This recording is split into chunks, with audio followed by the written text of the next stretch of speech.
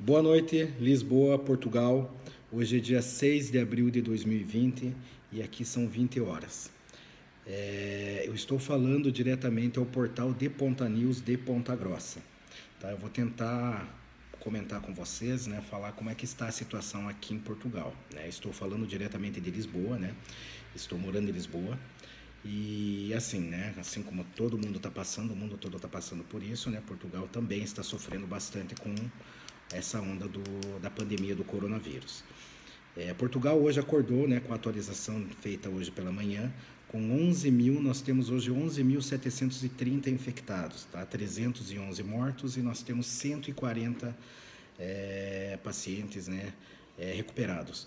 E assim, né, a gente está vendo que isso aí está crescendo substancialmente aí no mundo todo, e exceto né, China, que agora conseguiu controlar o número de infectados.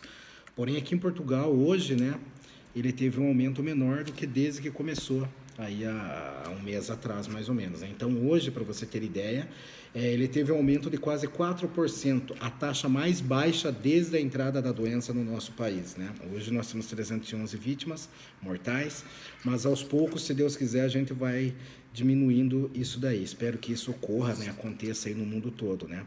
Mas, assim como a maioria dos países, nós estamos no estado de emergência, ou quarentena e isolamento absoluto. Então, para você ter ideia, aqui em Portugal nós temos a lei que nós estamos proibidos de sair para trabalhar, para passear, enfim, estamos obrigados né, a estar em confinamento dentro de suas casas. Os únicos serviços que estão abertos aqui diariamente são os serviços de supermercado, de farmácia e postos de combustíveis. Né, alguns trabalhos essenciais aí da área da saúde.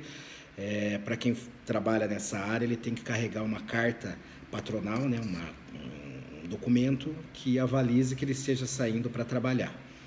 E aqui nós estamos passando pelos mesmos apertos aí que imagino aí no Brasil também estejam passando, né? Então é uma tensão bastante grande, é uma situação um tanto quanto delicada, complicada, é uma sensação de impotência de você ver tudo que está acontecendo e não poder fazer nada.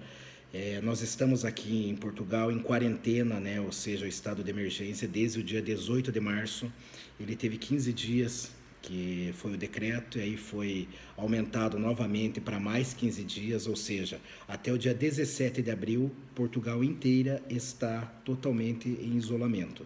Então, tem algumas medidas que foram tomadas essa semana, que uma delas é, durante esta semana, agora que é a Semana Santa, o aeroporto de Lisboa estará totalmente fechado, apenas é, voos emergenciais de cargas é, de medicamentos ou alguma outra coisa totalmente é, né? Então eles estão evitando aí, pediram para evitar é, de transitar nas ruas e assim por diante. Mas enfim, estamos vendo que tudo isso é, se Deus quiser, vai passar. É, hoje nós tivemos uma notícia boa que está diminuindo tudo isso daí. Espero muito que tudo diminua. Espero que aí em Ponta Grossa esteja estejam passando por tudo isso, mas que estejam conseguindo a contenção né, em relação a isso. É, não vou julgar como está o governo aí, como está a, a, o pensamento de cada um, né? É uma situação bastante incômoda, complicada e difícil você ficar em confinamento dentro da sua própria casa mas é um sacrifício que é válido e é necessário.